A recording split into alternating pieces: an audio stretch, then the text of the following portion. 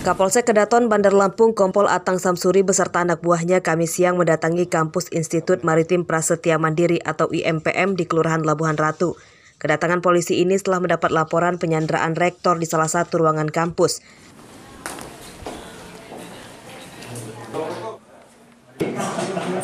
Dari hasil penyelidikan, laporan penyanderaan itu rupanya kabar bohong atau hoax. Yang terjadi adalah perdebatan antara pihak yayasan dengan William Nixon, mantan rektor IMPM yang dipecat beberapa waktu lalu.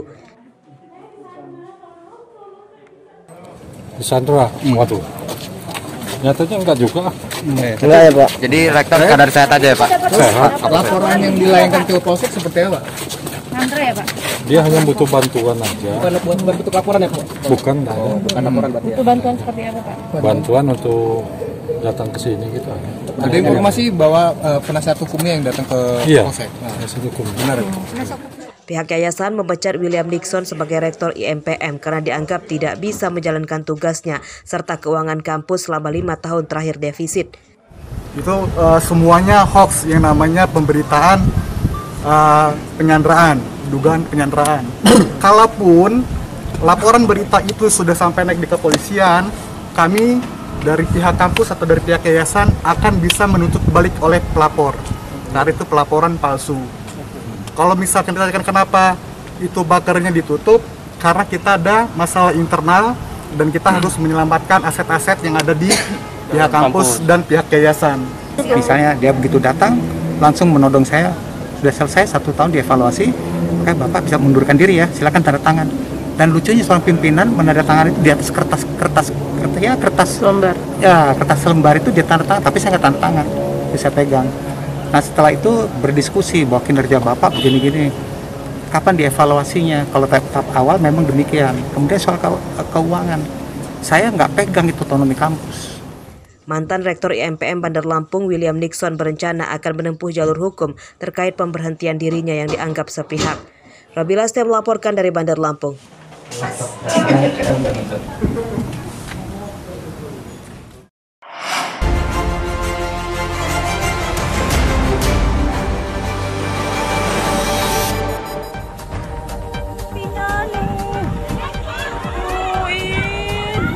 Kebakaran ini melanda kampung nelayan di pesisir Kelurahan Kangkung, Kecamatan Bubi Waras, Bandar Lampung, Jumat sore.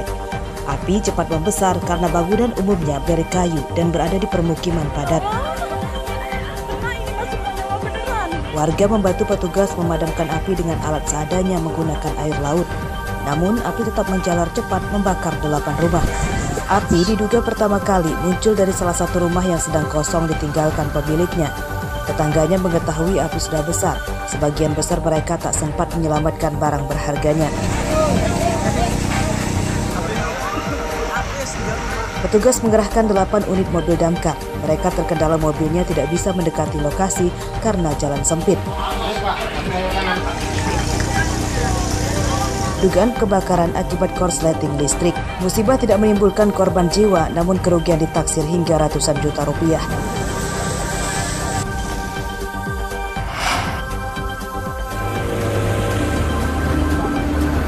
Tim SAR menemukan nelayan yang tenggelam di Laut Siging, Kecamatan Ngaras, Pesisir Barat pada Jumat pagi.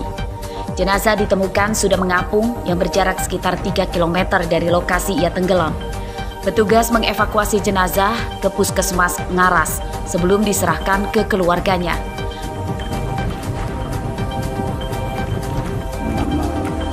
Korban bernama Wanto Setiawan, 25 tahun, warga desa Bandar Agung, Pesisir Barat. Perahu yang ditumpanginya tenggelam akibat diterjang ombak tinggi. Dua temannya selamat berhasil berenang ke pantai. Jenazah ditemukan setelah tim SAR dan nelayan mencari selama tiga hari. Pencarian difokuskan pada penyisiran pantai hingga radius lebih dari 10 kilometer.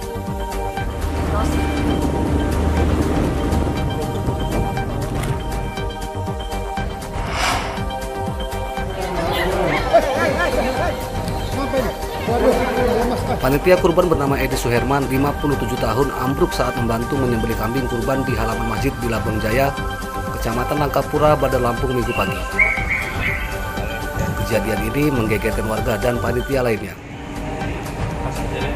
Edi Suherman dinyatakan dokter sudah meninggal dunia saat tiba di Rumah Sakit Umum daerah Abdul Muluk, Bandar Lampung. Ia meninggal saat membantu menyembelih kambing ketujuh. Menurut anaknya, almarhum sang ayah sebelumnya telah mempersiapkan secara matang saat akan bertugas sebagai panitia kurban. Ia terlihat sehat dan sudah sarapan sebelum berangkat ke masjid. Almarhum yang memiliki penyakit jantung itu diduga kelelahan. Jenazah sudah dimakamkan pada hari Minggu sore. Keluarga mengikhlaskan meninggalnya Edi Suherman yang sedang beribadah itu.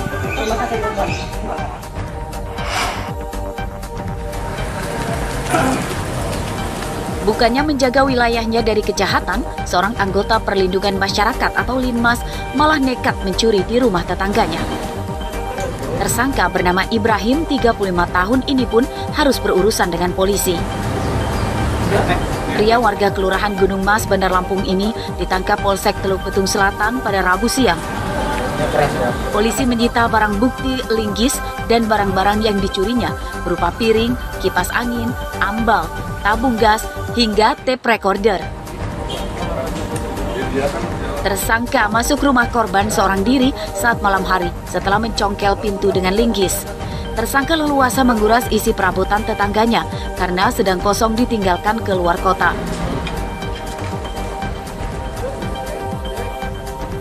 Pencurian terungkap setelah dilaporkan korban ke polisi. Atas perbuatannya, tersangka terancam dipecat dari pekerjaannya sebagai aparatur kelurahan dan terancam hukuman tujuh tahun penjara.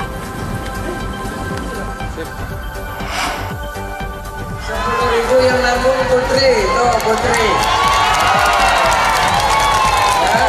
Menteri Perdagangan Zulkifli Hasan mengkampanyekan putrinya, Putri Zulfa Safitri, di sela-sela menggelar operasi pasar minyak goreng merek minyak kita di Kecamatan Teluk Betung Timur, Bandar Lampung pada Sabtu 9 Juli 2022 lalu. Kejadian itu memicu kontroversi dan sedang ramai diperbincangkan masyarakat di tanah air. Menteri Perdagangan meminta masyarakat untuk menyimpan uangnya karena minyak tersebut telah diborong putrinya, Putri Zulfa Safitri. Minyak kemudian dibagikan gratis ke warga. Menteri Perdagangan mengingatkan penerima minyak gratis untuk memilih anaknya yang akan maju dalam pemilihan anggota DPR RI pada pemilu mendatang. Namun pada pagi hari ini seluruh Nanti nanti milih putri ya. Oke. Nah, kalau milih putri ntar tiap dua bulan ada deh ginian.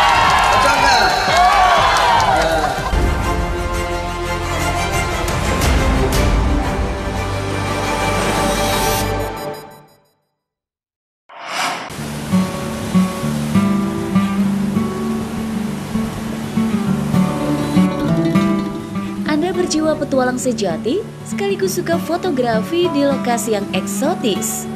Tepat rasanya jika Anda memasukkan pantai Karang Gigi Hiu dalam list Anda untuk wisata akhir pekan.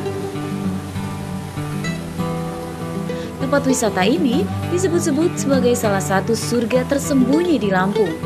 Lokasinya di Desa Pegadungan, Kecamatan Kelumbayan, Kabupaten Tanggabus. Jalan menuju lokasi rusak dan mobil sulit melewatinya. Namun bagi Anda pengendara motor bisa masuk lebih dekat ke pantai Karanggigi Hiu dengan melewati jalan setapak dalam kebun. Sampai pantai, bus, angin sepoi-sepoi dan aroma khas laut menyapa syahdu. Gugus karang yang menjulang bak gigi hiu membuat kita terpana untuk menuju gugusan batu-batu karang raksasa itu butuh perjuangan lagi. Berjalan kaki harus hati-hati jika tidak ingin terpeleset dan jatuh. Begitu sampai di atas batu, kamera siapa pun pasti tak akan berhenti mengabadikan setiap jengkal momen di sana. Hiburan ombak yang dipecah karang itu jadi satu momen yang memanjakan mata.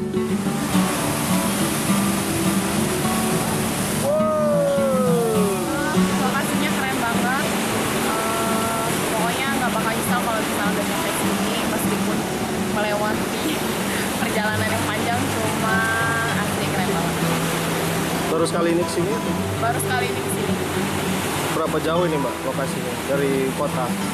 Kalau dari kota kita harus ke Kiluan dulu sekitar 3 jam, terus baru ke sini sekitar 40 menit lah. Dari Kiluan jadi ke sini uh, sekitar 40 menit. Semakin sore suasana semakin syahdu. Angin laut yang dingin serta suara debur ombak yang menghampas karang menghilangkan penat sejenak dari keriuhan kota. Secangkir kopi panas bersama teman-teman adalah perpaduan yang ampuh untuk menikmati hari yang indah itu. Eits, untuk masuk ke tempat wisata ini gratis loh. Pengunjung hanya membayar parkir kendaraan saja. Andri Kurniawan melaporkan dari Tanggabus.